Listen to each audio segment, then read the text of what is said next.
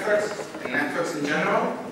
A brief introduction, what network is, uh, where it all started, where does network theory come from, actually graph theory come from. And then we'll, uh, we'll go on and talk about, we have an example, we, we'll talk about some difference about different structural properties of systems and what they imply and what has been discovered up to now. And then we will try to get to Bayesian networks if we have time. And after that, we'll talk about uh, how people might make decisions. It's a guess. It's a pretty good guess.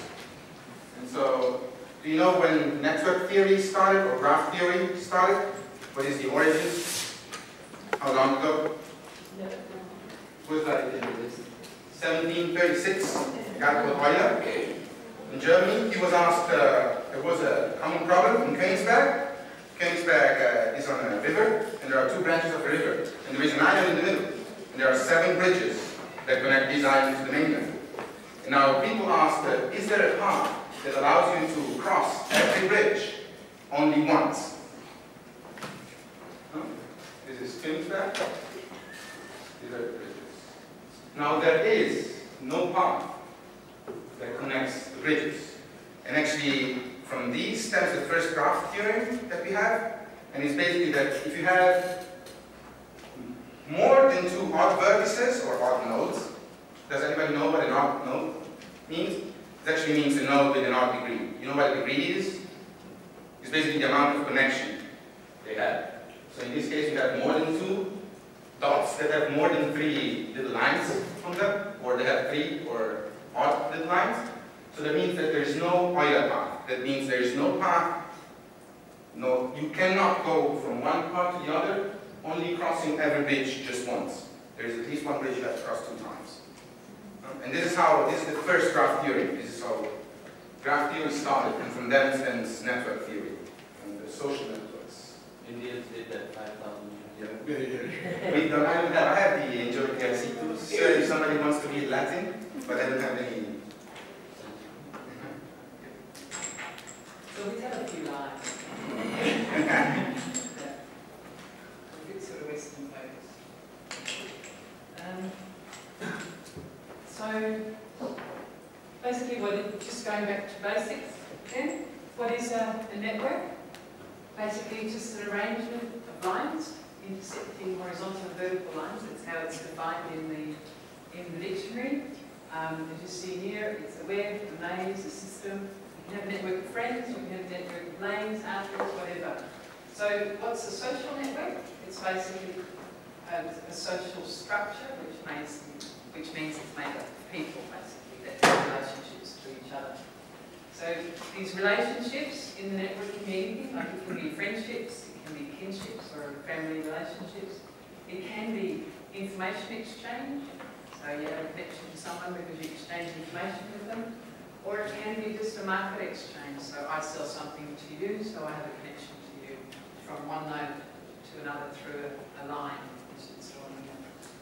So we have, most of you probably been by physical sciences, you're, you're probably familiar with a lot of the physical interaction networks, um, food webs, um, that's not what it's called, airline networks, which is something that um, is shown in this one here as a network paths that airlines fly and, and the, um, what the airports they land at. And then there's social interaction networks. And I always like to show this one because this one here is a um, social network of the Jefferson High School. They follow the students around for a year. The pink ones are the girls and the blue ones are the boys, and this is their sexual interactions in that high school over a year. So, as you can see, they're all connected in this big group here. There's a lot of monogamous relationships, there's 63 monogamous relationships in this network. There's also um, people who are monogamous but their partners aren't necessarily monogamous in this, um, in this drawing here. So this is an interesting, just an interesting social interaction network. Yes? I need to ask, how, how the heck did they get that information? but it's a the question is why we didn't go to the school. but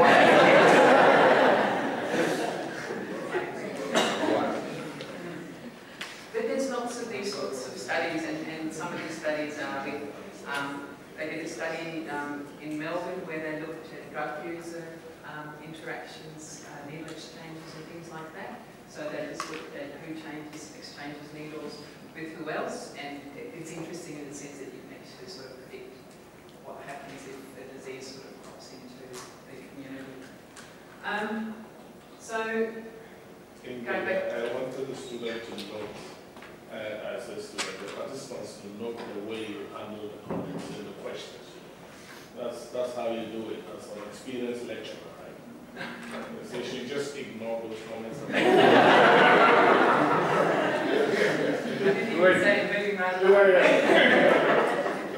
Yes. Um, okay, so we go back to our matrices again, and the, um, I'm just showing you here that we have what we call, in network theory is called a node, or a vertex, or an actor. These lines are called links, or edges, or ties, as I said, they can be anything, they can be a market exchange, or a family relationship. These can be people, or they can be institutions, they can be organisations, whatever you, whatever you choose. So, there, um, networks can be undirected or directed. Basically, um, it's easiest to explain by explaining what a directed one is. It's basically, um, I sell something to you, but you don't sell anything to me. So you know the direction of the flow of information, or in this case, trade. In these ones, there's no information about the direction of the flow, so it might be a friendship. So if I'm your friend, you're automatically my friend, although that's not always the case. so they um, can be weighted. So you can say, um, this is, for instance, a really strong, oh, this might be the number of years that you've been friends. So these number four and five might have been friends for 20 years, whether these two guys here might have been only friends for five years. So that the thickness of the line might designate the, a, a, a, um, a continuous variable in a way. And again, the same for the um, um, direct networks. Now, the characteristic uh, difference between uh, undirected and directed is that one's symmetrical, which is obviously you can see that the lines, that the um, numbers above the, uh, the um, diagonal are the same as the ones below, so it's um, symmetrical. Whereas two, one and two here have a three, but there's no um, three over here. So everyone understands it's pretty simple. So that's the basic structures of networks. So I just go away from the matrices, matrices for a little while and just talk about social networks, where did that interest in social networks started. And Jacopo sort of talked about where social, where graph theory came from, although the Indians have been doing it for much longer, but the interest in social networks started with a gentleman by the name of Wilson.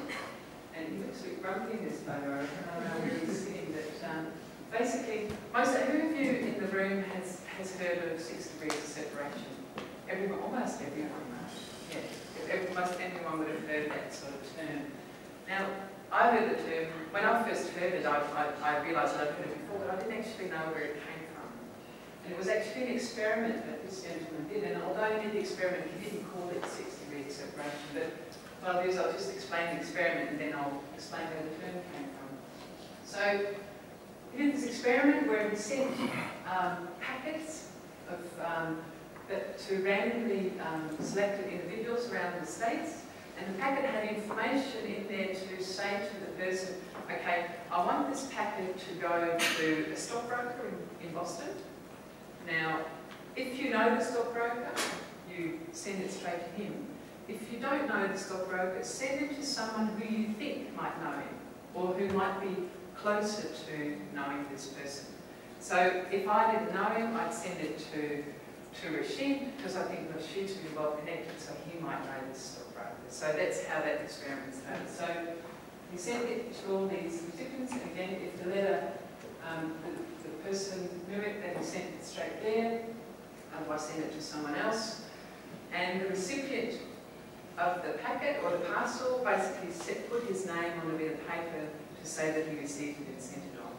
So when it got, when the packet eventually arrives at the stockbroker, then we know how many steps took to get, how many people it had to go to to get to that final stockbroker, which basically is, oops, is what we call the chain link.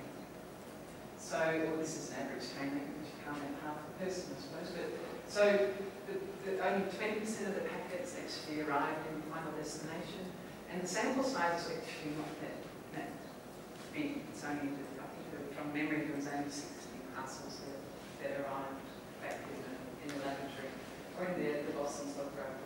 So this is one of the, um, the bits of paper that actually shows you where the packets went. It went to someone in Omaha, then it went to someone in Iowa, etc., and it ended up with the target person. So this one here, it had a chain length of seven. This one here has a chain length of only four. So on average, for these 60 people, the chain length was six and a half. So this is where the term six degrees of separation comes from, from this simple experiment. So basically, it was popularised by um, a filmmaker that called his film Six Degrees of Separation. And um, that's where, and, and it's surprising because I don't know how many people have seen this film. Not many, many, but most people know about six degrees of separation. So this is a famous quote that most people also know for some surprising reason. It's like everybody on this planet is separated by only six people, six degrees of separation between us and everyone else on the planet. The President of the United States, the gondolier in Venice. Like I knew about the gondolier in Venice without even knowing about this experiment or about this film. I don't know how that's happened, but an Eskimo, I'm bound to everyone on this planet by a trail of six people. So this is actually really interesting that this experiment, which was well thought out, and Milgram wasn't really known for doing nice experiments, known for doing quite um, ethically questionable experiments. But um, it, so this is where it comes from. And basically, since then, all sorts of things have developed, and, and one of the things, I don't know how many, how many people know of the bacon game? Yeah? And how many people know about the Eagles? Okay, so I'll explain a little bit about what this means. On the if you go on the internet and find the Bacon game, Bacon is um, Kevin Bacon is a, a um, actor, and you can find, you can see, you can put your name in. If you if you're an actor, you can put your name on the internet into this um, database, and you, you can say who you've worked with, and it will find the pathway that you're distant from Kevin Bacon. And it's like if you, sorry. You put the name of an actor. And then you put the name of an actor, and then it says how this actor is linked to Kevin Bacon. Yeah, not for you, There's not not- for you. No, there's not enough. There, there are another of us. Are you an actor? But I no. So you might not, you might not be connected to Kevin Bacon. Ah, that's what he does? Because I've seen it with the name of an actor. Okay. I've seen it with- Well, I, I've actually never done it, but this is, this is similar. I showed you this example because I thought this might be more, um, might speak more to the audience here. So this is the, the Kevin Bacon game for mathematicians. So basically, Erdos here is a, is, was a really prolific mathematician. He wrote lots and lots of papers. And he was a, he was a character. He was a very eccentric sort of person. And so he published 1,500 papers, I believe. It's amazing. Huge challenge. He um, had 507 co-authors. So if you're a mathematician and you're publishing in mathematical papers, you can also on the internet, you can put, you can see how far, if you've got co-authors, how far removed you are from ERDOS through the connections um, that you make through the network. So the average, I think this might be, I'm not being very clear here, but basically the six uh, degrees of separation experiment showed that the six and a half people removed, six steps removed. Basically, if, oops, if you do the ERDOS game, it shows that every mathematician, on average, is only 4.65 steps removed from ERDOS in their, so in their connection to a mathematician. And the maximum is, uh, is three, 13.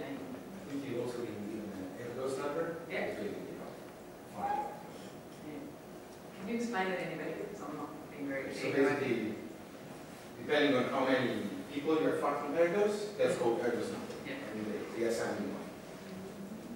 If you, if you were co-author with Yeah, with yeah. somebody that was co-author with somebody. Right. Yeah. That's how it works, basically, yeah. yeah. yeah. yeah. Work the put it on their CV, not post. Yeah. I didn't know that, right. um, Okay, so this is the website one if you're, if you're a mathematician and you've had, if you've published with cohorts, you can find out, what you can do with the bank if you're. Um, so it's coming back to the sort of specifics of uh, network analysis. Um, we, if we, these were the nodes that we talked about before. This is obviously not a network because we've got n slots, so we've got 12 nodes, but we have no links between them. So P is the number of nodes with links, this case zero, and K is the number of links, which in, in an unpopulated network that is also zero.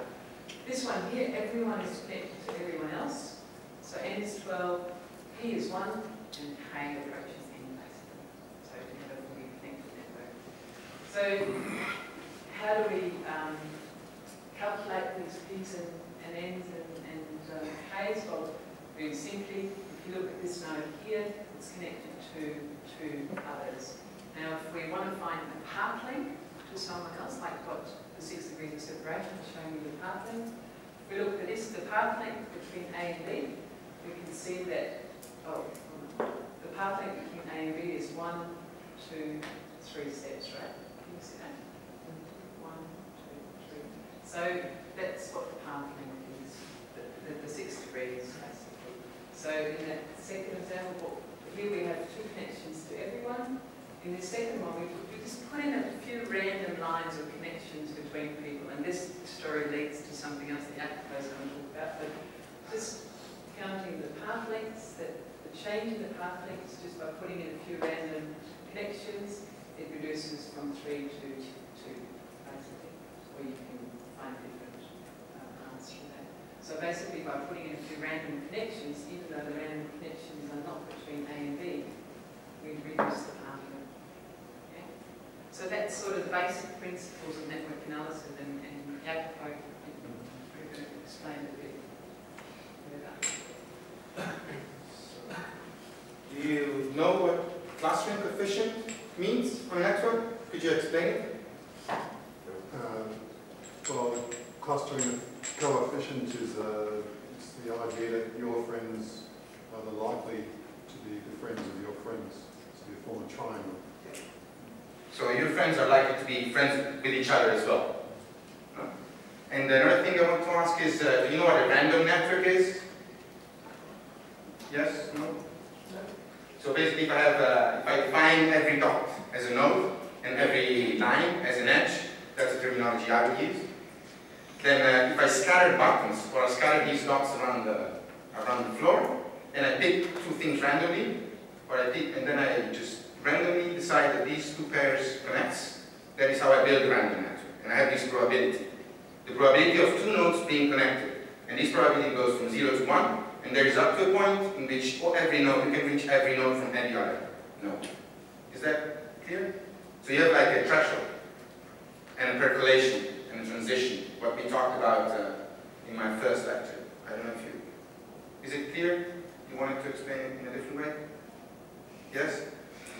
Okay, so basically, a random network is just, it's characterized, has certain characteristics. So most of nodes will have the same degree. You know what a degree is? Is the number of connections I have. Okay, just that, very simple. And uh, and it follows a Poisson distribution. And a random network is built by simply randomly connecting two different nodes with a given probability. Is that better? If you go to the next slide Yeah. But then, but then we have a, a small world network is actually in between a random network and a regular lattice. A regular lattice is, every, in this case, everything is fully connected. Okay? So I start building connections that connect two parts that are not connected yet. And I have a different, complete different, uh, uh, that's P is the probability of rewiring. That means that I go from the regular lattice, I start rewiring nodes. Okay? Is it? No, I guess I have to restart. Yeah. Yeah. So basically we have, uh, this, is a, this is a regular lattice actually. No? So if I start putting connections in the middle, then I reduce the average path length from one node to another. Is that clear? Yes? And I, but I also keep my clustering coefficient very high. Because a lot of friends, a lot of nodes that I need, that I'm connected to are also connected to each other. Can you see that? And those are the characteristics of a small world network. Okay?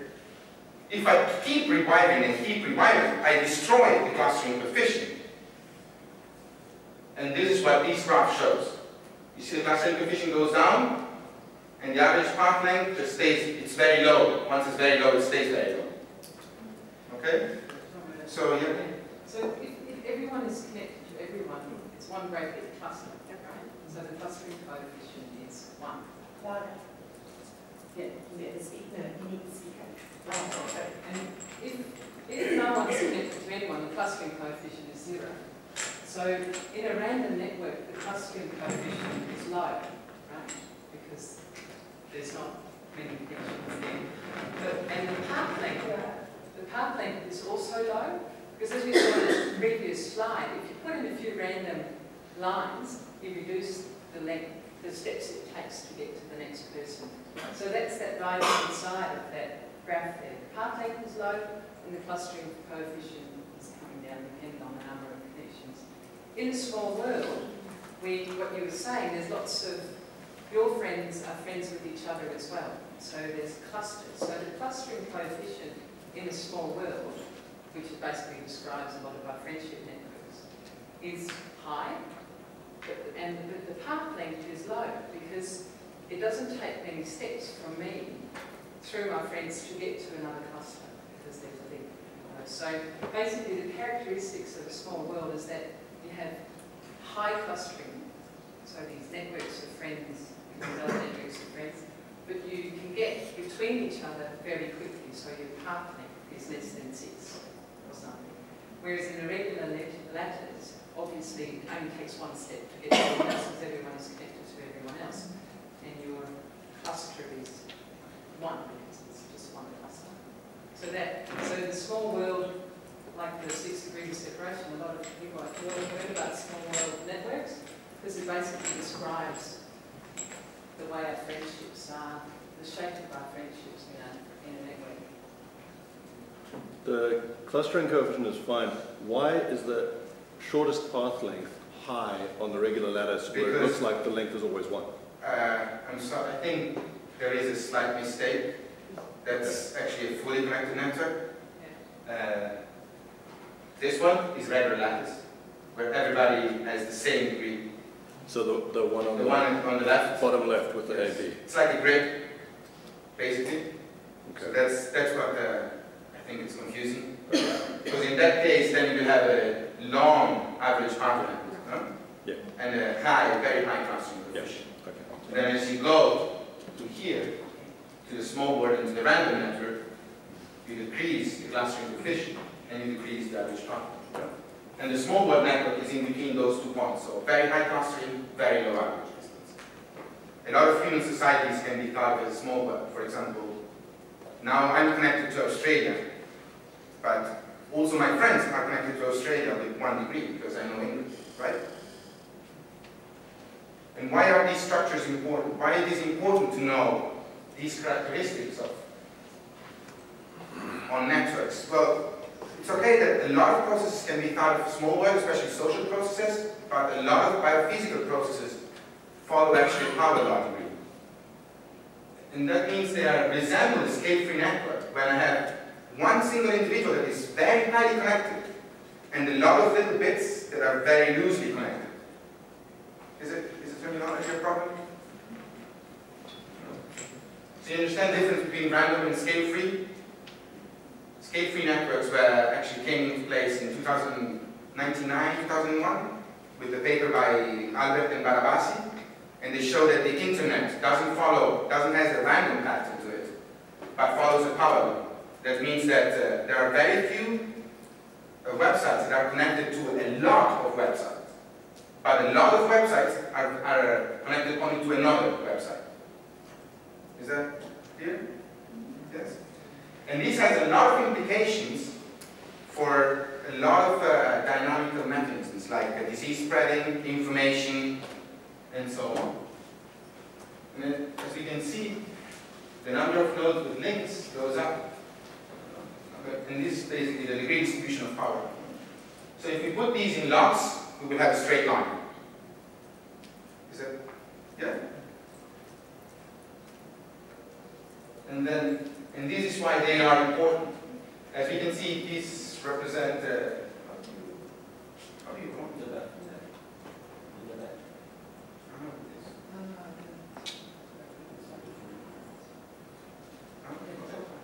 This one is a random, represents random network that follows a Poisson distribution.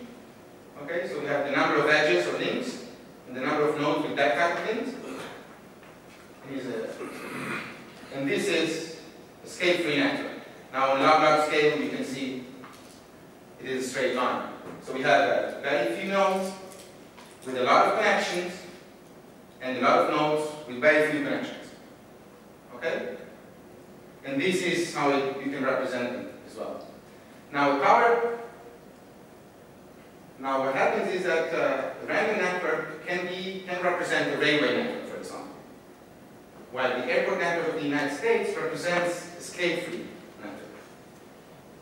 Now, what this implies is that in case of an error or an attack, an error is defined as uh, I remove randomly a node from that network.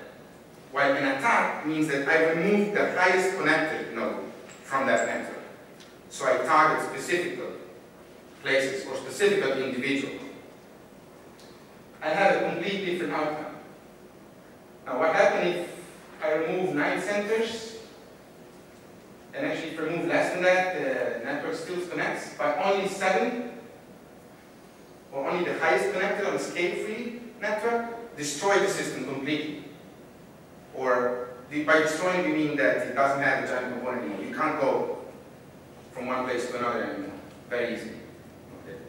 And this is you want because this graph I think is much better to explain that. And this is basically what happens. Now this is uh, you know what a giant component is? In a network, a giant component is basically the size, the biggest size in proportion of the network that is all connected. So if it's one, everything is connected to everyone. Or every, you can reach every node from any other node. Is that, yeah? Okay, and so this is the proportion, and this is the fraction of nodes I start taking out. When I take out the node, I take out all these connections as well, right? So we can see that the difference between failure or error and attack in a random network, also called exponential, it's basically the same. While in a scale-free network, I have a completely different outcome.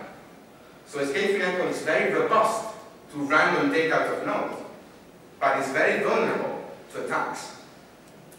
But it's the same, at the same time, we can see an epidemic spreading on two different types of network. The scale-free, in this case, is blue, and the random has a threshold. So it means that in a random network, the epidemic has to reach a certain amount of nodes before it starts to be a real epidemic. While the scale-free network is actually being demonstrated by two guys called Pastor Satorras and Vespignani in, I think it was 2001, that the scale-free network do not have threshold. That means that any disease in a scale-free network can become an epidemic at any time, even if it's only if you have only one infected person. Okay? It takes a longer time for a random network to happen. And what we've also discovered is that connectivity or structural properties also influence dynamics in predator prey systems. People normally assume that the higher the connectivity, the better for migration of these species, but actually what has been discovered lately is that there is most likely a sweet spot. So if the system is overly connected, it creates problems to the coexistence level of species. While at the same time, if the system is not connected or is very loosely connected, we have a lot of problems as well. So we need to find these sweet spots and we need to find we need to find ways to understand migration patterns of animals. And they, are very, they might be very important, especially nowadays in terrestrial uh, settings where fragmentation of lands is more and more uh, it becomes it's, a, it's an issue that is more and more pressing because of urbanization and uh, road building, for example. Is that you have any question on these things? No? Yes? No? So what is important at the end of the day is that networks are important because they represent, they're a way to represent the structure of the system. And structural properties influence the robustness of a lot of systems. And not only that, they influence how we can spread this, how, how we can spread information and how we can spread diseases as well. Okay? And information might be very important when we start making decisions. So as I said before, how we change mental models. One way is to try to market those people that have the highest authority or the highest likelihood to change other people and they're well connected. Because if we change, if we, if we target individuals that are not very connected, even if they have the higher authority, we might not have that amount of change that we need. And this is another way we can actually exploit these type of graphs or these type of techniques. And I think now Ingrid is going to give an example of fisheries. Yeah, so, um,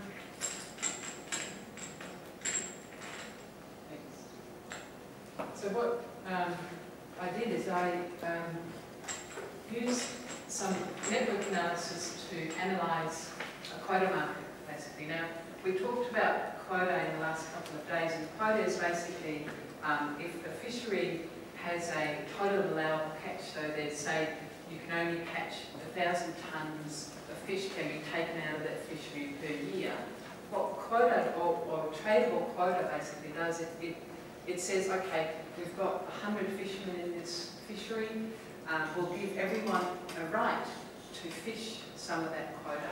So say for instance, you've been fishing in this fishery for 20 years and on average over those 20 years you've caught five tonnes per year, we'll give you a right for, to catch five tonnes per year in that fishery.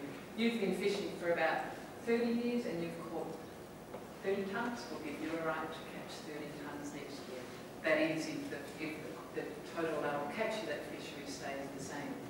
If the total allowable catch goes down, your quota will be reduced proportionally. So say there's a 10% reduction in the total allowable catch, your quota will be, rather than five tonnes, it will become um, four and a half tonnes, or whatever the equivalent reduction is So that's what a tradable quota means. It basically means that you have property right to catch fish, and you can, you can, it's your right, you can sell it. So say you're new to the fishery, and you want to buy my five tonnes of um, abalone quota, I can sell it to you and it has a market price. The other thing I can do if I hold quota is I can lease it to you. I can hold on to the property right, but you want to go fishing, you need an extra five tonnes, so I say, okay, I, I will lease out my quota to you for $20 a. So you have both a market for a trade quota and a market for lease quota. So what I did with this fishery is, and tradable quota is one of those management approaches that economists have thought up because it's, it's really nice because you have a market, right? And the market sorts itself out.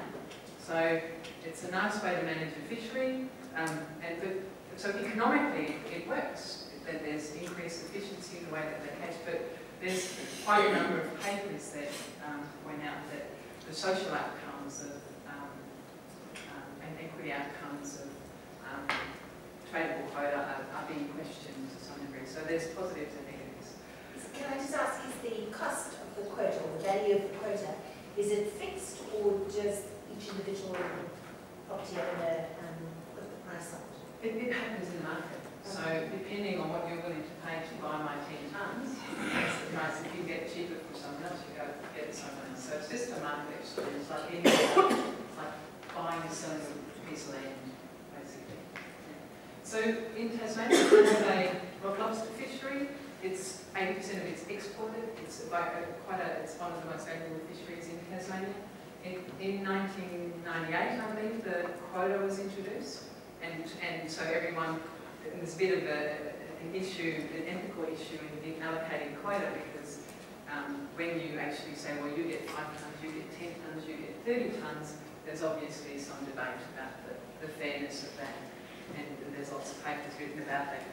So, so what happens um, in this fishery, those quotas introduced, and a year after quota introduction, um, we had some data about the trade in this quota. So this is the, the trade where I hold on to my property right, but I give you the right to fish my fish at cost. So what this one here, just focusing on the left-hand side of this graph here shows is that a year after quota introduction, there was trade between, these are fishermen, and there was trade between them for this quota.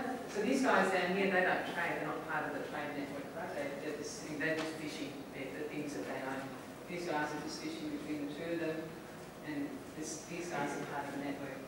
Um, the size of the dot is the amount of quota they own, that's what it shows, and the edge, or the line between them, shows that there's been a trade between them. So what this shows is that we, we, we had uh, data for um, every year up to 2007 at that stage, and we looked at how that network of trade the quota changed over. And this was the network in 2007, eight years after quota was introduced, or um, quota was introduced in the fishery. So you can see here that there's far fewer fishermen that are actually just fishing, they're not trading. This guy here has obviously bought some quota from somewhere because he's increased in size. There's many more fishermen that are now part of this trade network, so they've started trading their quota. And in fact, when you do the statistics on it, what Jacopo was saying before about um, scale-free networks, where 20% of the fishermen own 80% of the quota, that would be a scale-free network, where 20%, the same with, with anything in economics, 20% of the people have 80% of the wealth, right? That's a trade uh, principle. So in this network here, what we're seeing is there's concentration of quota ownership. So people are increasingly, um, some of the guys are growing bigger and the other guys are growing smaller. So that's one of the things we've observed. But just to go a little bit deeper into that, if we, if we break it down a bit, we actually found that there's different types of fishermen within that, um, within the Tasmanian fishery. So we have people who own quota but don't actually fish. So we call them investors. So these guys sell their quota, or at least their quota to other fishermen, which is those arrows there. So these guys here are what we call least dependent quota uh, fishermen. So they tend, they depend on, they own very little quota, and they depend on getting their least quota from other people. These guys here, they get quota from investors, but then redistribute some. These guys here, they fish, but they actually lease out some of their quota, so they might be topping up their income a bit. So this is your lease quota network, and this is your active fishermen. Right? Does that, that make sense? That's just the description of the system. So what's actually been happening in Tasmania, which we can deduct from partly the shape of the network and partly what I'm showing you here, is that if you plot fishing effort, which is the amount they catch, the actual amount, so it might be 100 tonnes a year, or 75 tonnes a year, and the amount they own. So obviously the guys on the on the vertical there are the guys that just fish, right? They own as much as they. These guys down here, they fish more than they own, so they're dependent on getting quota leased in. These guys down here above the diagonal are people that um, fish, but they lease some of it out. And then we have the quota, uh, the income supplementers who actually lease some of their quota out, in, sorry, the redistributors, I should say. So what's been happening over time is that we've gained a lot of people who are depending on lease quota to go fishing. We've lost a lot of these guys who just go fishing, who just own quota and fish all their quota. We've um, gained a lot of investors, so people have actually who own quota are now leasing it all out, they're not going fishing anymore.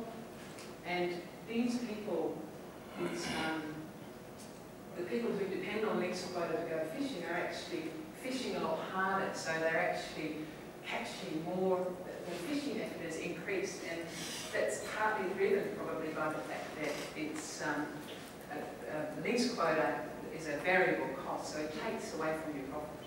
So you have to probably, to cover your, your costs, you have to fish harder if you're, if you're leasing quota in. And the other thing is that's happening is that obviously there's an increased uh, number of portfolio investors.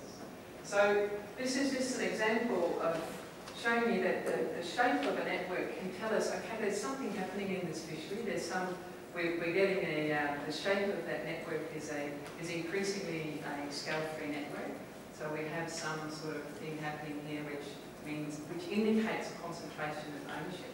And then we can break it further down actually look at, okay, so who is actually how's that concentration of ownership actually happening by the typology that we can create for the fishermen who are, um, who are dependent on lease quota. So this was just a little study based on looking at the effects of, of uh, policy um, change by allocating property rights to a particular, particular fishery. And this is not this is not something that's unique to Tasmania. If you, Rashid, you, you're probably more aware of the, the stuff that's happening in North America than yeah.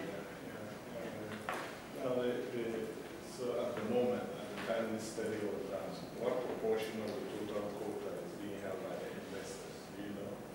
In this particular In this particular fishery? Um, I don't know off the top of my head, sorry. Yeah. because that's an important, one of the reasons people don't like the quota, trade of the quota system. The, the idea of having absentee fishes, right, and, and that kind of thing. So it would be nice to know that. Yeah, yeah, I'll, I'll, I'll find out when I get back home, but yeah. So this is, this, this sort of, um, trend towards concentration of ownership is, is something that's almost, if we go back to that, the last talk, um, the last couple of talks about, um, the things that you can explain in economics, that behaviour of concentrating ownership is something that we can predict in a way, because, yeah. On the other side, as you were saying yesterday, the- like the redistribution of wealth is one of the things that brings bring sustainability. Mm-hmm. So this is really again against this going towards sustainability. in a way because you talked about increasing fishing effort there. Yeah. But they still have to catch the quota. They, they cannot catch more than their quota. Right? Is that? The least fish Yeah, because you, talk about fishing effort increasing. Those who, They can, so they, what- what's been happening is that, um, like, if you used to catch, say, twenty units of quota, if you, if you now are depending on, on leasing quota in, you might have to fish forty units of quota to make it worth your while to stay in the fishery, if you're a lease fisherman. So there's the efficiency gains, really, because you're getting bigger and you're getting more efficient and then that goes to the question. Yeah. And the fish then suffers, right, in terms of sustainability. Well, there's a total allowable catch. Uh, There's a seed. says that there's a cap on the total amount that can be taken out of that fishery. So the, so the quota really doesn't achieve sustainability in itself or by itself. You have the, it's the total allowable catch that is what is the, what, what's the safeguard for the biological sustainability of the fishery. Because it, it basically limits the number of fish that are allowed to be taken. It's just the distribution among the fishermen that is guided by the quota system. Maybe the you said they, they're transferable. Yeah. So from what I understand, the DQ actually improve the overall health of the fisheries. But it is like giving ownership. In, in Kenya also, the, giving people the ownership of the trees actually deforestation. So, Everything being. so proprietorship is. Except in Australia, where odd. In Australia, ITQs don't work nearly as well as. So the complicating factor with ITQs, and, and uh, Ingrid's writing a brilliant paper on this, is that in systems like this, we can get ownership split from the guys who do the fishing. Those who do the fishing no longer have that stewardship motive. So in Australia, lots of the ITQ fisheries, it's not the ITQ itself that makes it sustainable. It helps the economics, but not the environment. It's the mm. TAC, the total, that's the environmental part. So there's lots of social factors. You can, you can draw an analogy to land base. So if you own a property, you want to look after it, right? You want to look after your grass and your cows and things like that. However, if you are leasing that property for 10 years, your stewardship of that property might not be exactly the same as what it would be if you owned it. It's just human nature. It's like renting a house, it doesn't matter if coffee or somebody else's property. But in, in fisheries, in a way, that one of the things that they were, that in the literature you'll find is that, okay, you give someone a property right, they look after the rewards better. Yes, in the first instance. And then over time, if you get the processors owning the quota or people who live in Sydney and own a bit of quota from down the, down in Tasmania, you might be removing that stewardship away from the people who actually doing the fishing because you've become, at least you're, you're basically renting the place, you're not. So that debate, I mean, as, as Beth said, I'm, I'm trying to formulate a paper and they, they sort of accepted it on the basis that I get some more data to prove it. So, but it's, which is not easy, of course, but, um, so I, I would think that automatic stewardship from owning the property right is not maybe so automatic. I mean, yeah, You but you probably have a different opinion about that, yeah. you know, I, I usually have, I teach classes at UBC that is only uh, interdisciplinary people. And this year, this last January, I had a lawyer, a political scientist in the class, and that made the class really interesting. I talked about the stewardship thing with ITQs, and the lawyer said, are you sure about this? I said, get out of here, I told him. This is the receipt theory and so on. He said, just think of it this way.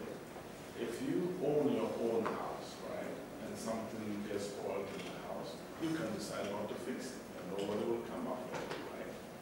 But if you are renting and you destroy something, somebody is going to come after you, and you will have to fix it. And actually, this guy made my head spin, right? Because he quickly took me to my own house and indeed, we have things hanging there for, for years and we haven't fixed it. If it was somebody's house, I would have to fix it. So, so you- you get the point. So the lawyer simply kind of hit me. This is what you don't get in the conventional economics club, because they all swallow the theory. Yeah, yeah. This guy said, no, no, no, let's think about it. Yeah. So, yeah. So, but there's a fine if you don't clean your house up. I think There's a little bit of a fine, like you don't get your bond back if you don't Yeah, clean your yeah, house it- up. yeah, it's just saying that the rules, the regulations you have probably would work better than ownership. That's why he's saying. If you have Yeah, a system. thought of it in that way. Yeah. Wow. Do the quota owners have any type of uh, environmental responsibility that it's monitored somehow? I mean, if you own a quota, are you responsible for, um, you know, preserving the, uh, the system that you're exploiting to some degree? Well, there's two ways of answering that question, I suppose. There's some ways that, that, that policymakers can ensure some sustainability additional to uh, the total allowable catch. They can, what they call input control, so they can say you can only fish with a certain type of net to reduce your bycatch. Or you're only allowed to fish in this area at this time of the year because the fish is spawning at uh, other times of the year. You can only take females of a certain size after they've spawned. So you can put additional controls on fishery, additional to the, the, the quota system that would ensure um, higher sustainability in that fishery, um, which is which would be compulsory. But in terms of voluntary, I, I don't. I, I think we, we're sort of relying on that stewardship behaviour to to uh, achieve that. So my question is, do they get in trouble eventually, or? Like, I mean, if you own a quota, let's say you, you, you have a quota for 40 years, but you're you know, exhausting it really, really quickly, that system is not going to recover Well, you quite for the next Quota 30 is an years. It's an annual. Uh, It's an annual number, but they can, annually. if you don't buy the rights for, for a decade, for instance. No, yeah, it's, it's, sometimes it's forever, actually. It's infinity, they give it to you. But your question is very uh, valid because it doesn't automatically mean that people don't cheat in quota systems. They do highgrade, they discard, because you want to fill your boat with valuable fish, right? If you catch quite high, that you throw it out. So there are lots of things that go on. And many of the quota systems that have worked well, they have very strong monitoring and control systems. In fact, they have, in some cases, they have two people on each boat going out to monitor what they do in DC, for it to work. So it's not a given. You need a lot of uh, Enforcement. yeah, work. And the nice thing is when they have these things, sometimes they contribute to the enforcement. In Namibia, they actually fund the whole enforcement thing. The industry pays to, to pay for those who go with them to monitor and stuff. I guess you can intuitively explain it, like if you owned quota, you owned a hundred tons of quota, and you had a son who was wanting to go fishing, or a daughter that wanted to go fishing as well, you want to make sure that, that, that fish doesn't get exhausted, or that the, the, the fishery is sustainable, because you want to pass it on. If there's no, if the fishery is unsustainable, those 100 tonnes of quota, which might, if you were selling it on the market today, might give you half a million dollars. If there's no fish, it's worth nothing. So you have some incentive to keep the value of your quota in case you want to sell it in the future sometime. So again, that would suggest that you're going to look after what's there.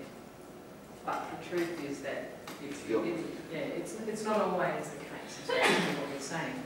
Theory would suggest that that would be the case. So, no, you're right. Uh, I was just wondering, if, uh, how often do you, you calculate uh, the total allowable catch? In this fishery annually, and I think, I don't know, Rashid, is there? Most of the time is a year, it's annual. And uh, do fishermen uh, have uh, practical, uh, say, power. To, you know, because they always uh, force power to increase the quotas? Oh, yeah. Uh, how the, how to say, government decides? Is it according to the uh, nutritive demand of the, uh, how to say, country, or is it uh, just, you know, uh, to be in the safe limit of this one? It's, it's a very, it's a very topical issue, actually. It's, It's, it's, it's a good you question. want to, you can talk. and- I'll, I'll say something first and again if you want. Um, so basically, in, in this particular fishery, the fishermen are, like, when the total allowable catch is set, and I'm, I'm simplifying it here, is set at a certain level, um, the scientists will, will get their stock assessment models happening and they'll say, okay, we've got this many juveniles, we've got this many that, this was the catch was last year. We estimate, say, that the total allowable catch will need to be 80 tonnes next year to keep that fishery going. So the, the, the scientists come up with the numbers, and a lot of the numbers that they come up with are based on what the catch was last year. So, and this is reported by the fishermen. So if you get a fisherman who says they caught 50 and in fact they caught 100, you've got a problem, right, with your data. But, but the story doesn't end there because like basically, so the fishermen, um, in, so Ostrom says that it's nice to, to manage natural resources in a co-management um, way. So you, you engage people in setting targets for your, for your resource. So in this fishery, we have scientists, we have fishermen that own quota, we have processors that own quota, there's um, environmental groups that are represented on this. So there's what they call a co-management of the fishery. What's been happening though is that a lot of the people who, the fishermen on this, they obviously, if you own quota, theory would suggest that you don't mind if the quota is reduced because you want to keep the value of your property right. In reality, that's not necessarily the case. They did this really neat little study in South America where they looked at what actually happened in these co-managed fisheries and there were very few um, uh, cases where the fishermen were actually barracking for a reduction in the. They were usually saying that we need more and then the negotiation was to get it more close to where the scientists wanted it to be. So, so yes, they, you would, in theory, you would say that if the TAC goes down, prices will go up. So a rational individual would say, you know, let's reduce it, let's keep it into the future. That's not necessarily how things work in reality. We are uh, talking about uh, say uh, cooperative management,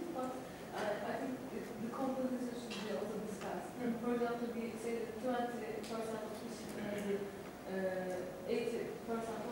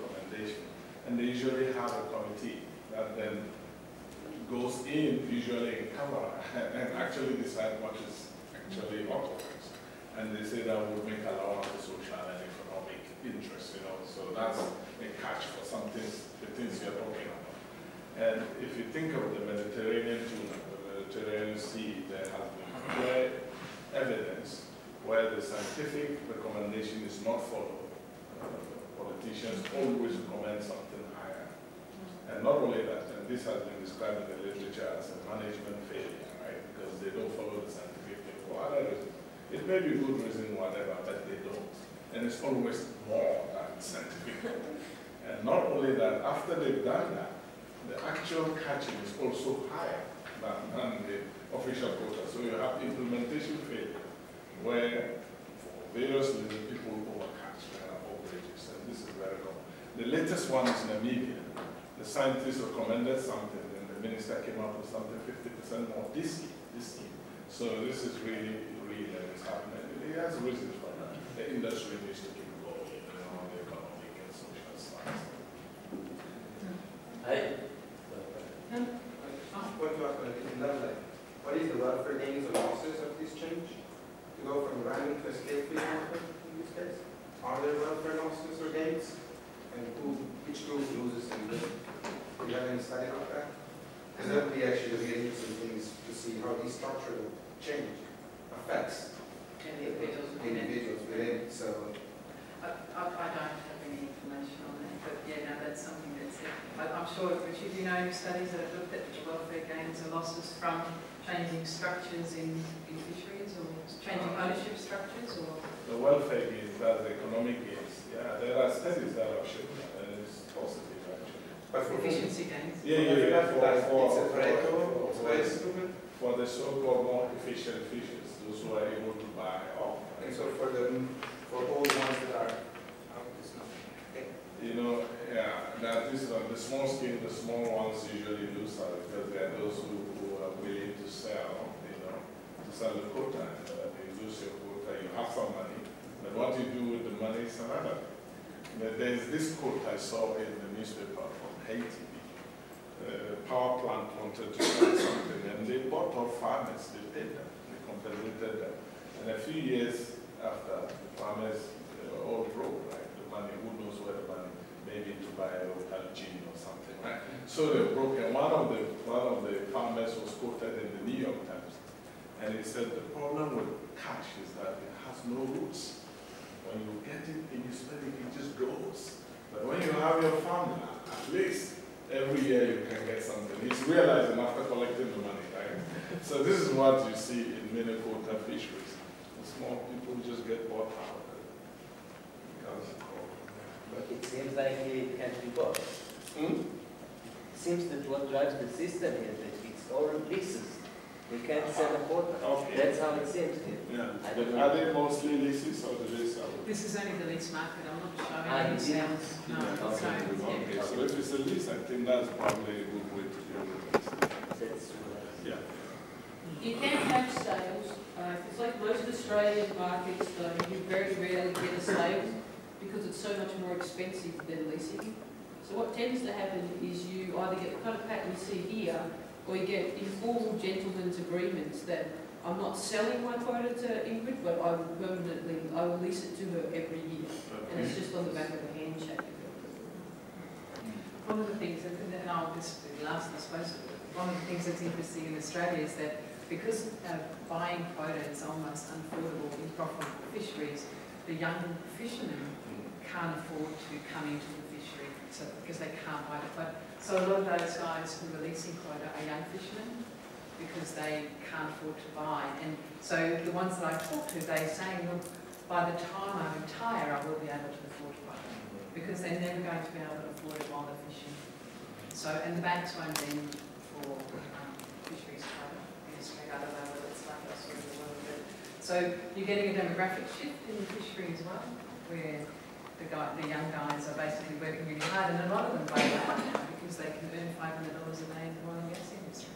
So there's some demographic, important demographic changes. So what will happen might be the same as on the land, where in Australia, a lot of old landowners that produce 80% of the wheat haven't got anyone to do their farming after they retire because their sons are out being lawyers in Sydney. Mm-hmm. So there's no one to take over the, the agricultural production either, and, and the same is happening in fisheries. So the trends that, that, that predictable trends, possibly because of human nature, because of the things that go on in our head, who knows?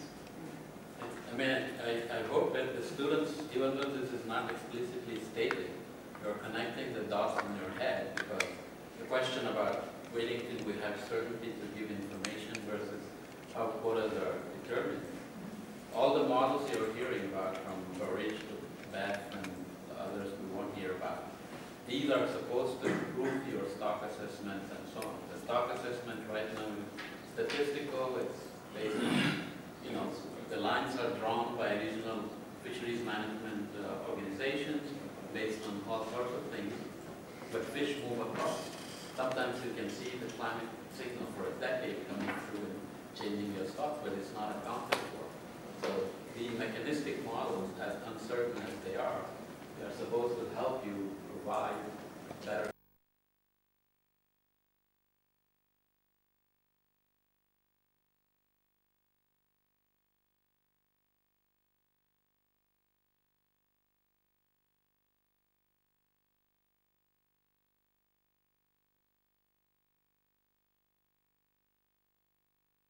three variables and connections, could be a directed network.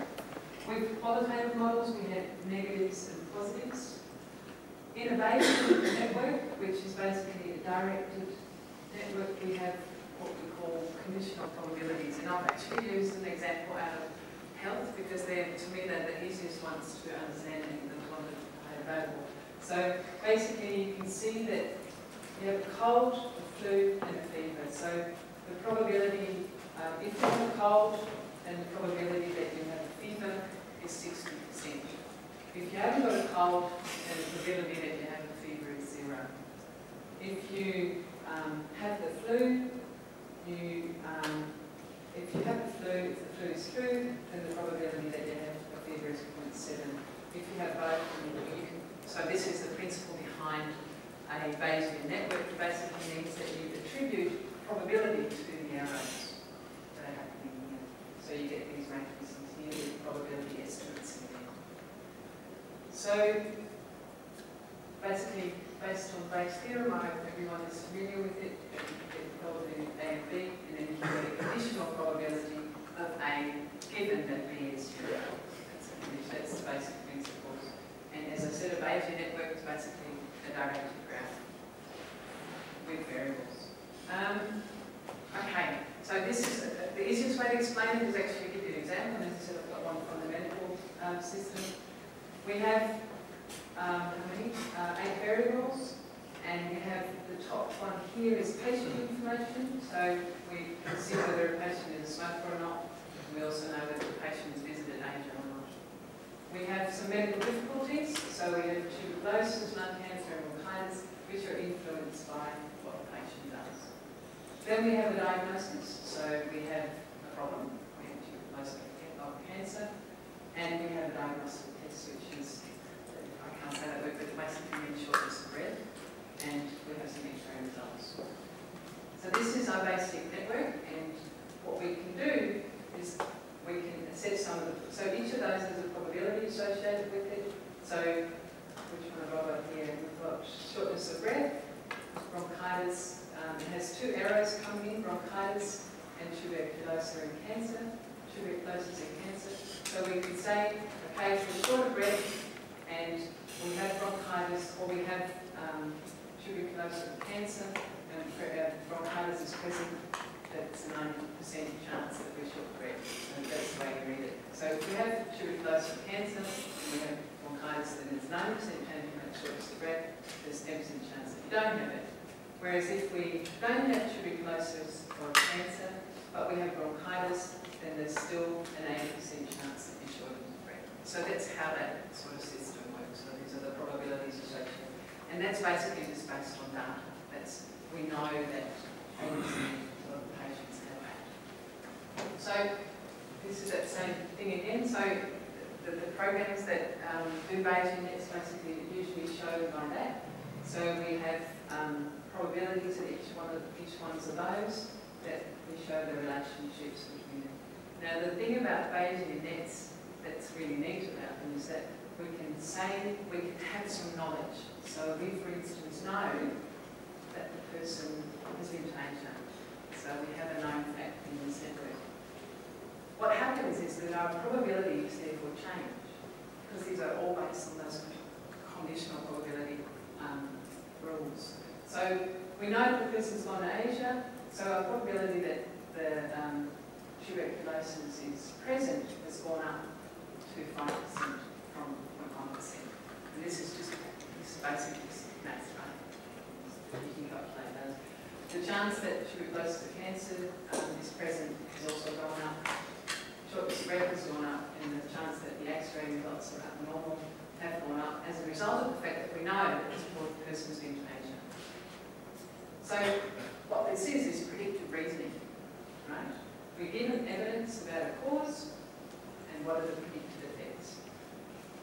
So the other way you can look at it in a Bayesian net, say we know something about our results. We know that we've got a normal X-ray result, even though the person's been to Asia and is a smoker. That increases the chances, um, the probability that it's not because we know that the X-ray result's normal. That increases that cost, uh, probability. It decreases the chance that it's, um, yeah, that it, um, has, that it has shorter spread. It decreases the chance that they've got lung cancer or that they've got tuberculosis. So this is how you can use a, a Bayesian net to basically do diagnostics as well as prediction.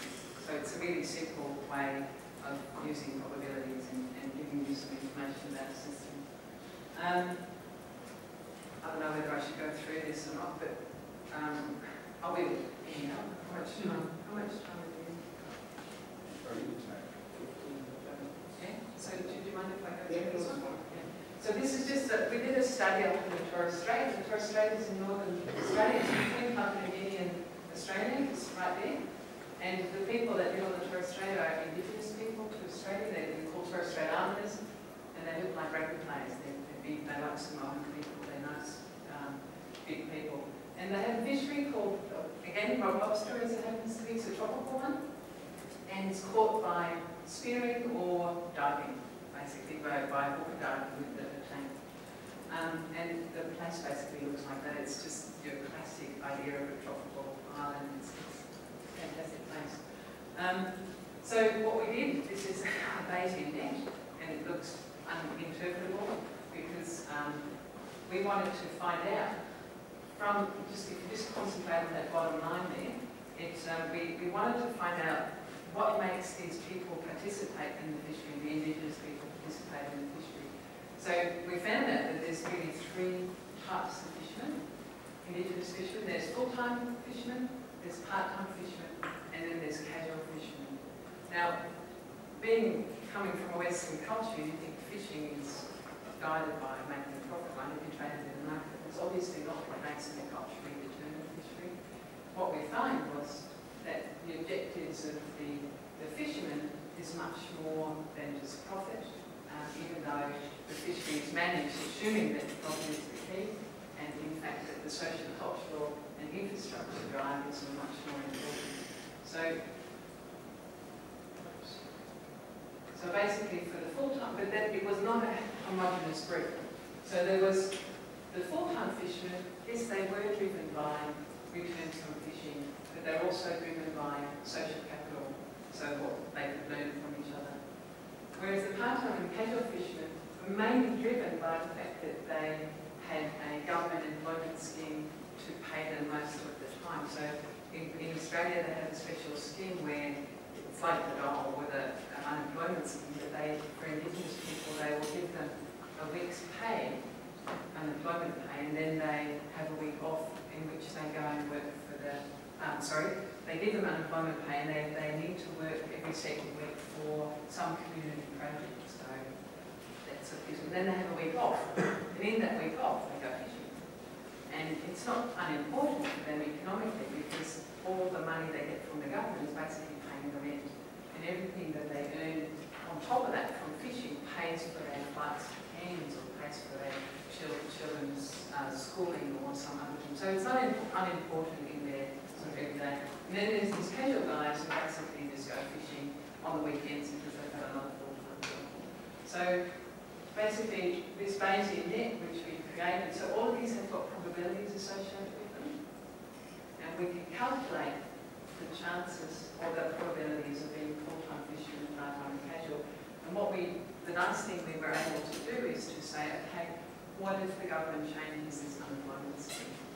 What, how are the probabilities? So we know now that the probability of the un- unemployment um, scheme become zero. What will be the consequences in the probability of people being part-time fishermen, or more importantly, becoming full-time fishermen? Because the fishery is unconstrained and hasn't got a total allowable catch, it actually means that they may increase the fishing pressure to the extent where it becomes, um, where it threatens the abundance of the species. So that's what this Bayesian net allowed us to do, to actually investigate some of the consequences of uh, different policies. And that was it. So it was very short. Any questions about that? Or that was changing that?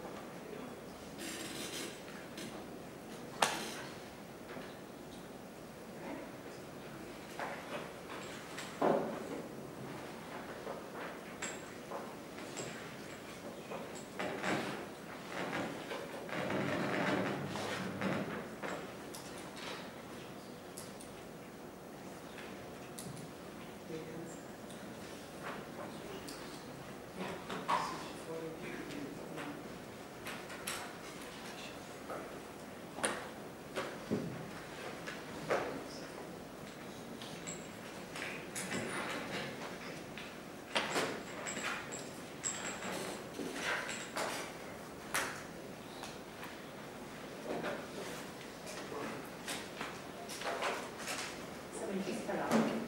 Yeah, no, I can, oh, sorry.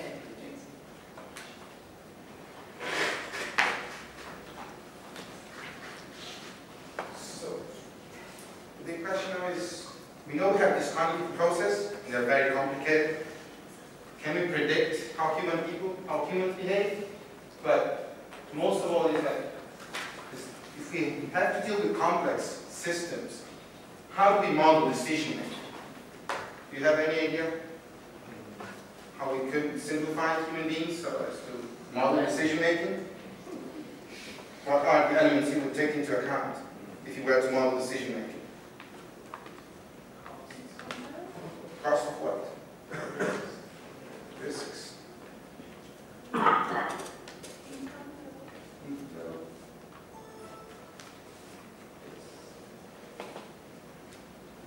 But also, we need to improve our understanding, especially on condition under which we cooperate, how social actors make those decisions, and how topology of interaction shape these decisions. It's not only cost and risk, but it's oftentimes interactions, and oftentimes it's just authority. Defining authority as the ability of make somebody else do what you want them to do, either by reputation or because you have the legal power to do it. Okay? So an example of decisions when we manage ecological systems is, for example, what species should be monitored. What are the effects of building a road? Should we protect a specific area? And what might be the effect? What are the effects of this? And at what rate should we harvest resources? And in all cases, we need mainly two types of information. Background knowledge and specific information. Do you agree? Do you have other things you think that are more important than this? Yes? Common sense.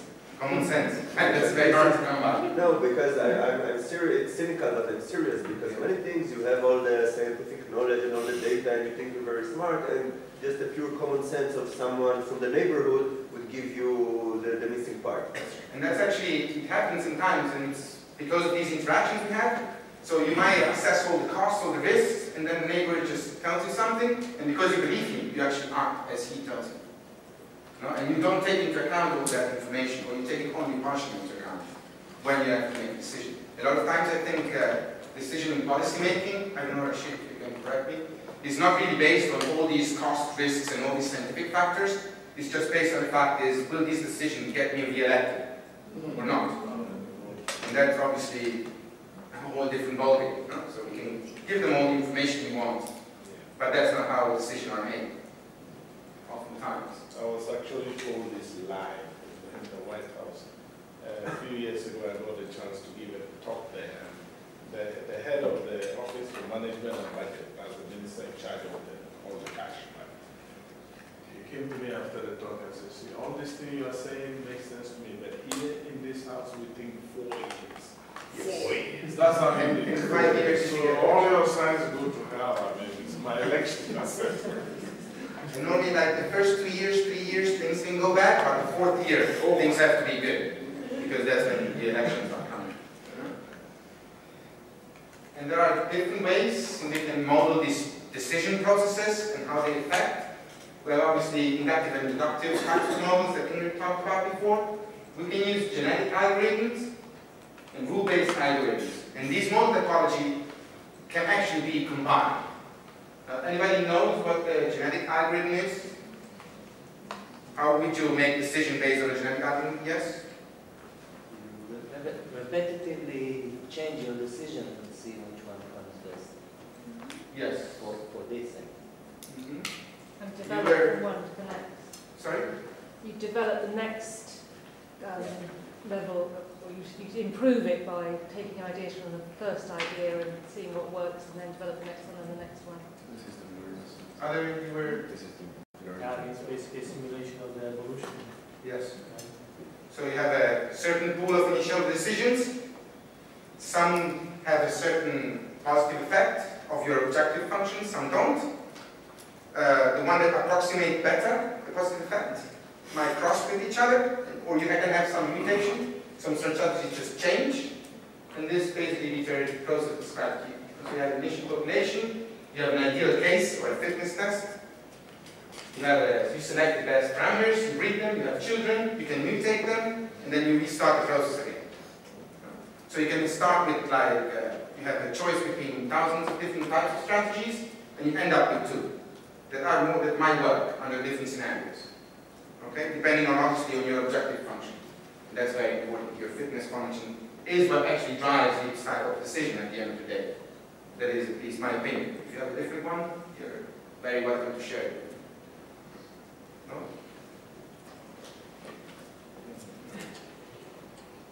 Another way to try to model these of these decision making is to use rule-based algorithms.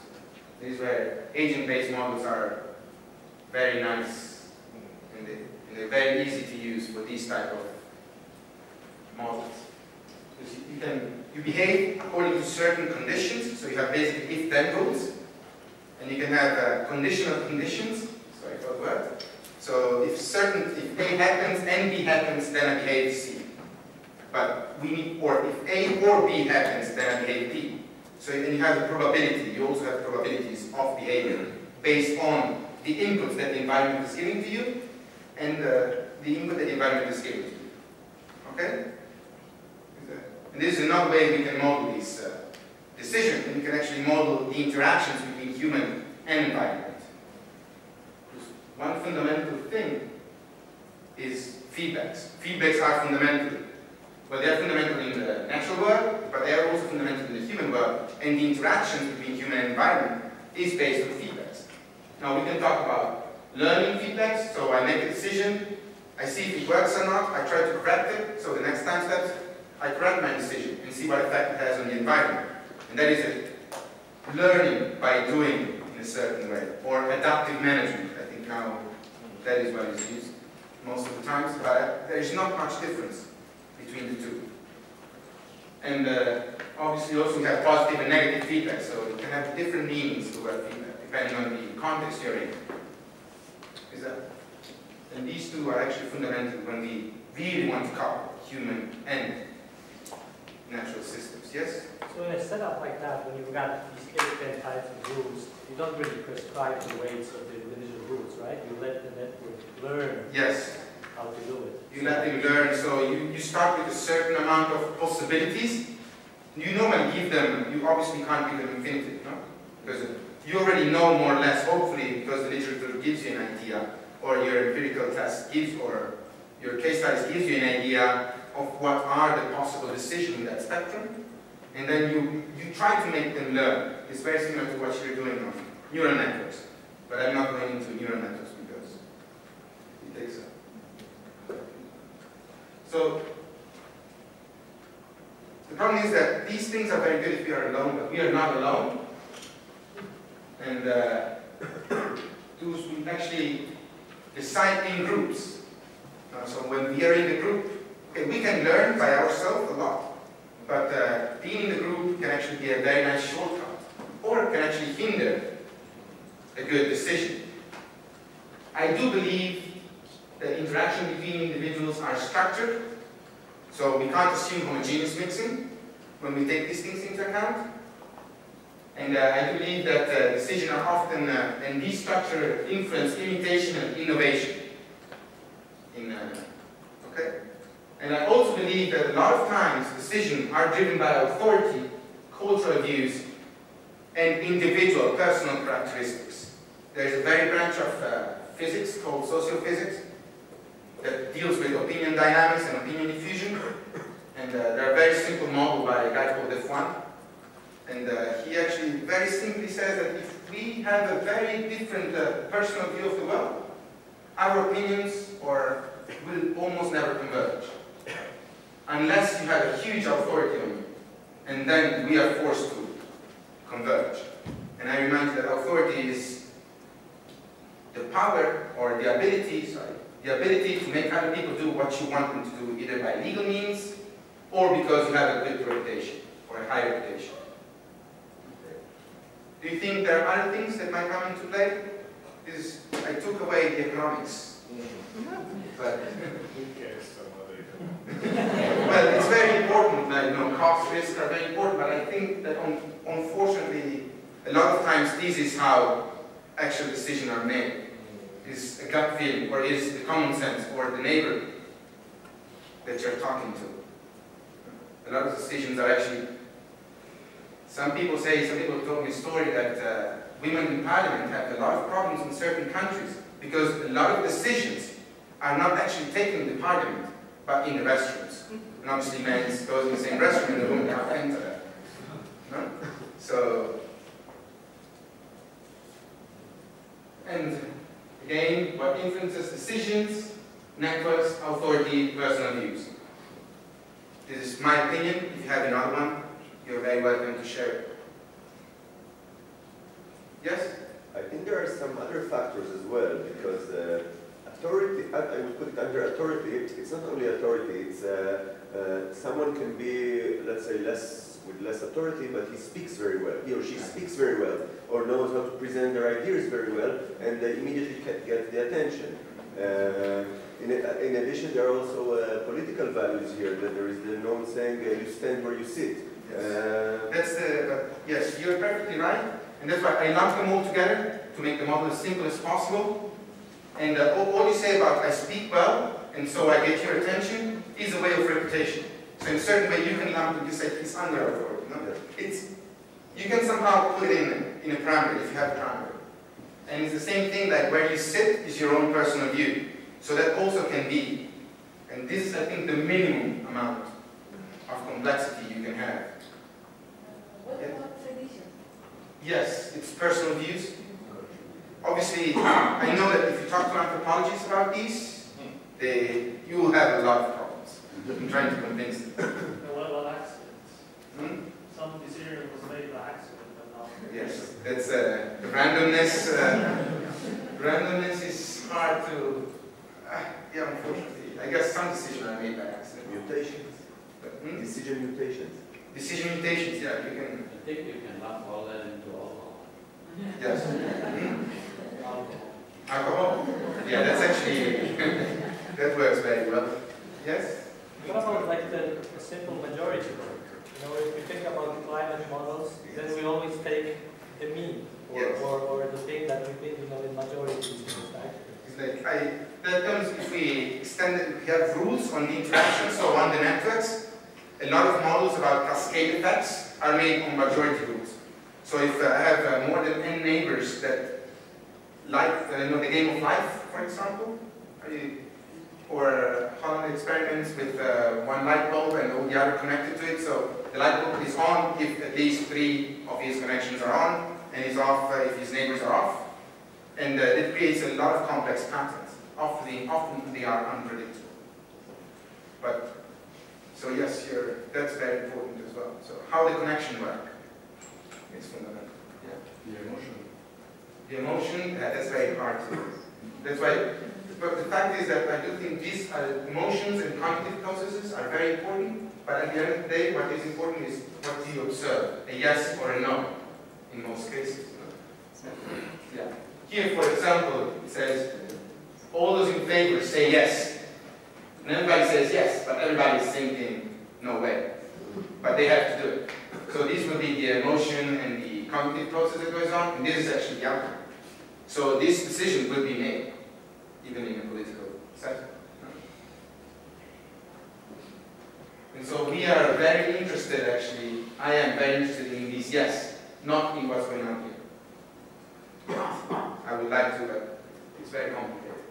So I will take that complication away for now. And especially when you start to couple social and ecological system, I think at the end of the day what is important is these, what decision has been made, what are the conditions under which this decision has been made. So what drives the decision making, rather than what drives the individual cognitive process, because they're all very different. Or all very similar at the same time. And uh, we can have, as we talked before very briefly about methods, we have information knowledge diffusion. It can be modeled as a disease spreading, or as anything that spreads on a network can be modeled with some basics of uh, epidemics. So an individual or an organization is infected when receives information or knowledge. Now there are different ways, sometimes we accept that knowledge and we never change it. That's not really appropriate, I think, for humans. And uh, sometimes we accept the knowledge for a while and then we become susceptible to new knowledge or to new information. So, and once we have that knowledge and once we believe something, we might be able to propagate that belief, propagate that knowledge to other individuals. Is it clear? Yes? And the spread of infection or knowledge or information, a lot of time depends on the individual capacity to acquire and retransfer, special individuals and topology. Again, authority, personal views, personal characteristic or personal views, and networks. Now, based epidemiology, we have three types of models. Susceptible infected, susceptible infected susceptible, and susceptible infected removed. Sorry. Okay. So how would you describe susceptible and infected in an information and knowledge context? What does it mean? Having a model that is only an SI model. Hmm? Yes, so basically this in epidemiology is like I'm susceptible to a disease. Once I'm infected, I stay infected for the rest of my life. Right? What does it mean in the context of knowledge and information? Bias. I would, yeah, and I will never change my opinion. Once I have an opinion, I'm always infected with that opinion. Right? So susceptibility can be zero if you don't want it, you're not open to. What? Yes. But once you're open, once you change your mind once, you keep it that way. You don't change it again. Or you change it again if you're susceptible. Yes, but yes, if you're SIS, in an SIS context, you change it again. You become susceptible with another probability to another type of idea. So the first two in a way are similar because if you're removed, you Yes. You're removed. can't infect someone else. Exactly. But most of the time we use only SI and SIS. We don't use the remove. The remove is used in epidemics. It means you die. We, yes, you can, we can die, but uh, I like to think positively. I don't want to think about that yet. Way too young. For example, if maybe there's a medical simulation on a network, here it is. We have a scale-free network and a randomized null network. Then we have different types of absorptive capacity, that is, how much we're able to understand and retransmit, and our power to retransmit that information. And we can see that if you go over time, this is the percentage of the population that has that same idea.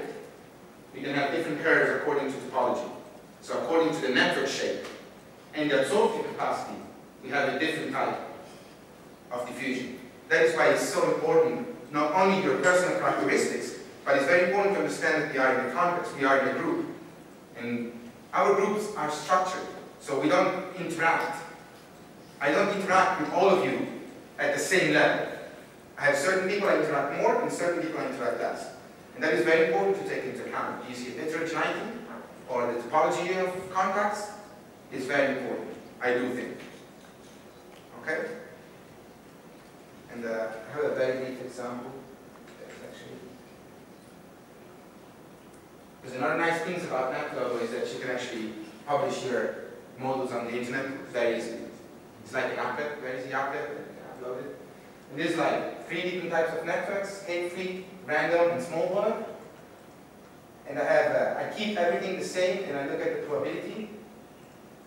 And uh, in theory, if you do it enough times, scale-free and uh, small networks are the fastest in spreading any kind of thing. And random networks like information, knowledge, diseases. While random networks are much slower in that sense. Okay? Yeah. So, this for example, you see you have 6, 16, 11. These are actually the times step until, until everybody heard the rumor or has that knowledge. Yeah. Now you want to slow down the speed? Slow it down and not be able to see. Okay. So this is, for example, a random network.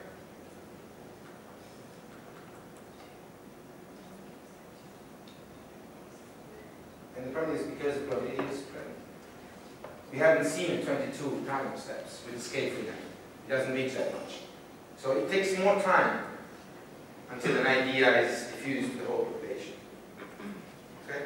So that topology of interactions affects how we make decisions. It affects why we make certain decisions. You want to see the small level?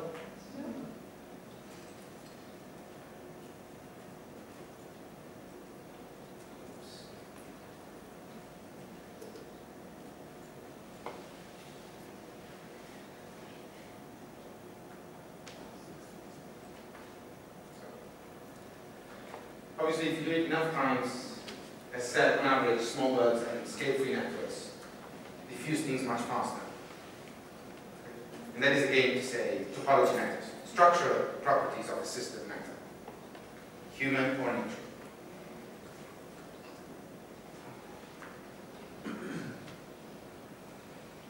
Obviously, an SIS model is what we've seen before was an SI model, so I wasn't susceptible again. So once I heard the rumor, I heard it. Or once I make my decision, or once I change my mind, I change it. I don't, I don't change it. Now here I'm susceptible again to other things. And that means that I don't get to this level all times.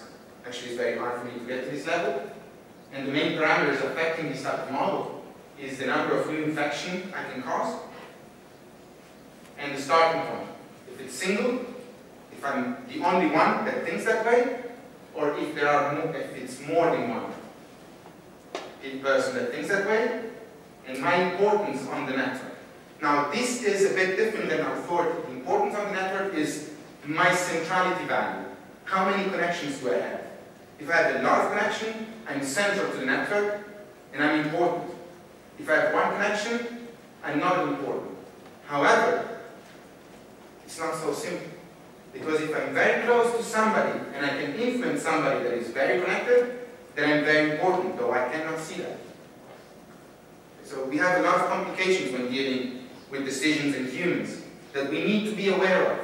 Although we might not model it, we might not take it into account, we have to know it because that's the limitations of what we're doing. And it's important to know the limitations of our models, I guess, no? And uh, for example, we've done a very simple experiment, 10 Facebook friendship networks, run an SIS model, 100 time steps, average 10 runs. Top nodes are identified by a combination of different statistical properties of networks. I know we haven't talked about this, but these are ways to see how important is a person within a network. Okay? and if you want to go into that, things we can talk later, I think. And what we found out is that if I look at, if I, if I, if I have one random node, this is the percentage of people that believe what I was saying or that actually change their mind, or in this case just infected. Three. So we have multiple seats, three people. But if I take the three top, persons, everything changes. And there's a big difference. Okay?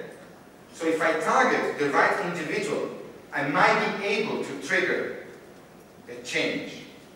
That's a very positive thing. I don't think that's so easy, but in theory, if I target well, highly connected persons as initial seed, to change, to make them, to try to make them change their behavior, and to really buy into what we are telling them, then we might be able to start a viral marketing, or to start what is called viral marketing, to start this type to start a change in the much wider population.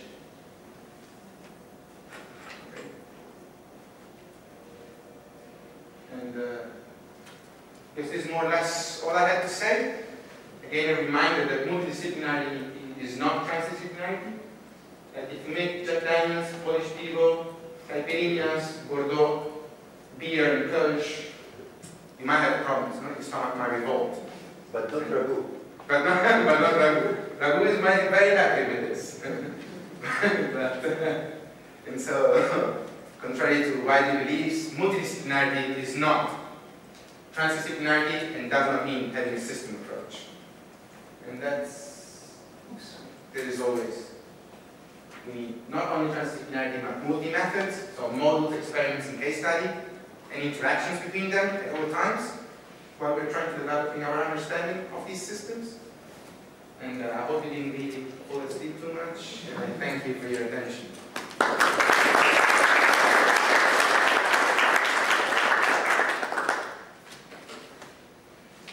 I just have one comment uh, regarding decision making. I Yes. think the best uh, work and the tutorial on decision making, uh, it's not an academic paper, it's not a book, it's the British TV series Yes Minister and Yes Prime Minister. And this is, uh, right, and this is like the world's uh, masterpiece, I think from the 70s, and uh, it tells you exactly how a parliament is run, how political decisions are made, and it's uh, timeless because it's every generation it works the same. And without all the models, without all the equations, without all the graphs, you can understand how things really work in these closed meetings and uh, the decision-making processes. Can you, are you able to then translate that and make it interact with uh, the natural system? Like we want it? Uh, I personally don't, but I guess one of you would. Mine. then we we have to work together. I own both of those series and watch them fairly regularly. Right, it is a funny show, but I think as scientists, we want to get beyond this narrative of politics taking only four years, because politics doesn't work in vacuum. They do have to answer to people. So climate change and these issues are much more serious than those silly ideas of politics and four years. Because even older people make better decisions because testosterone levels and estrogen levels go down and you, rich uh, uh, assessment improves. So hopefully you are getting beyond this narrative that is repeated ad nauseum. I think I believe we're good, but you notice that's always the older people that say it. I like that, I mean, because we shouldn't give up, essentially, that's what they're saying, science should continue, it will continue.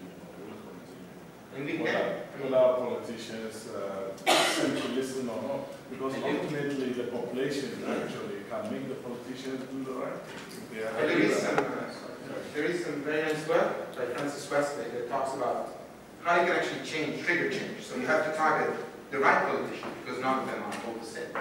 And No, they I live in DC and they, each politician has a group of twenty-eight-year-old ambitious people. You get in front of them, they will rip apart your science in five minutes. You think you're so smart. Be sure to get it when you go first.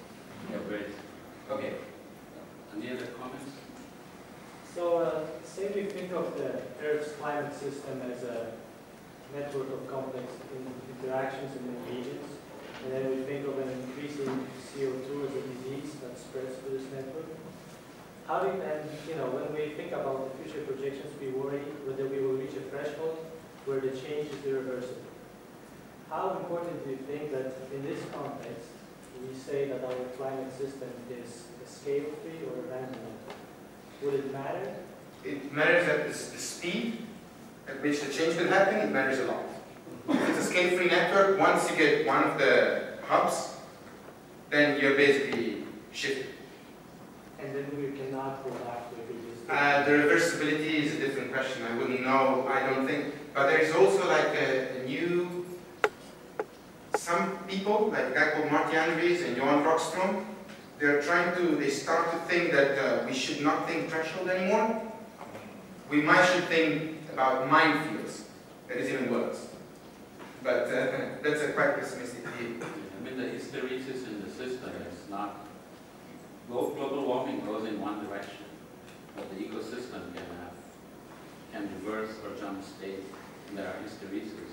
So these kind of uh, analysis will evolve eventually to do that, but this is kind of a new science in some I mean, if we go back to fishing, you know, we've removed the collet, but now just, just seeding it with collet will not, will not do much. We have probably removed some interactions, changed the network, right? We don't know that. We don't know, right? I mean, the salmon story tells you that in the seventies, there was a ship, and they thought it was caused by overfishing in the northwest Gulf of Alaska. Actually, it was related to climate, and they kept throwing billions of dollars into the water to bring the salmon. Conditions were just not right. So, learning the system helps. Any other comments? Okay, go take a photo. And smile.